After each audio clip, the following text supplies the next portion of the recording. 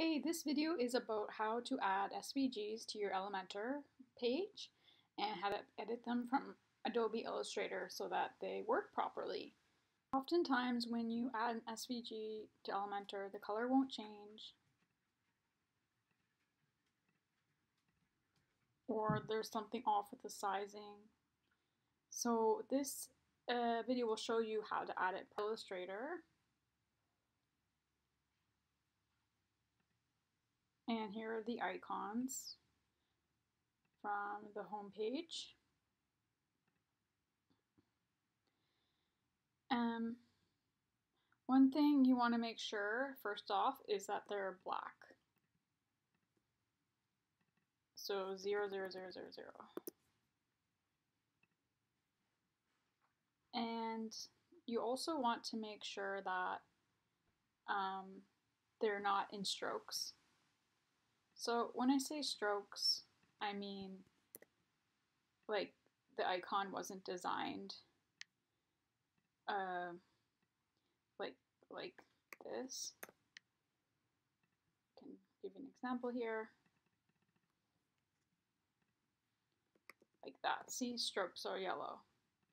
So oftentimes you'll get icons from stock sites and the designer didn't actually expand it or um, complete it fully, so it's left as strokes.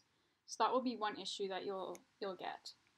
Um, so one way around that is I always like to expand my icons to begin with, so object expand. And if you've created your icons through fonts or typography or anything like that, you're instead going to go to type create outlines. So now everything is together, it's not a stroke, and it's ready. So once you're ready to export it, you want to make sure the artboards are all the same size, so everything will be aligned and the spacing will be correct between all of them. So I'm just going to double check the size of the artboard. So that's 7 to 10. File, export, export as SVG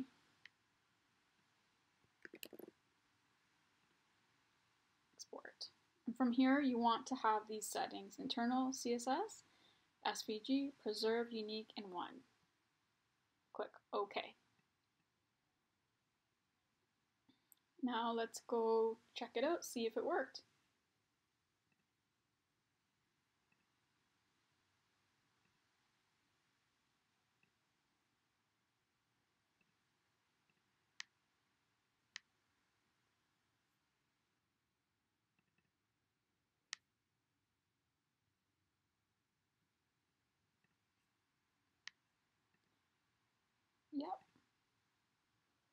And I can change the color and the spacing and the size.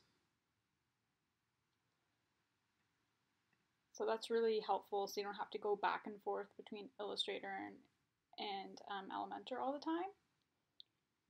Let's do it for one more time.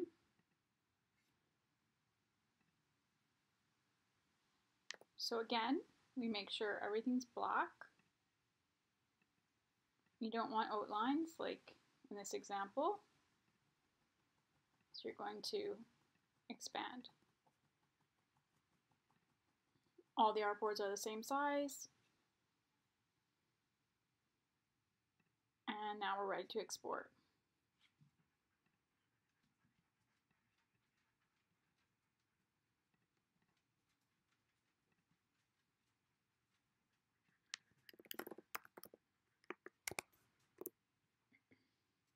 And these are the settings. You might want to take a screenshot or write that down.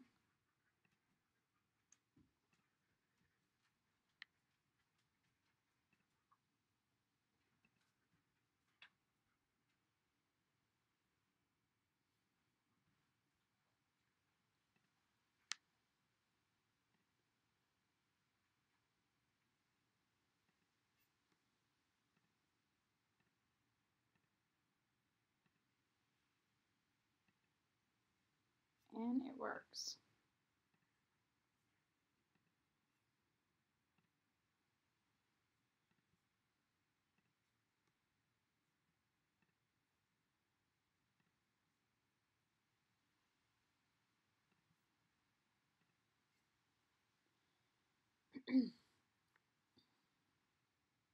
it looks great.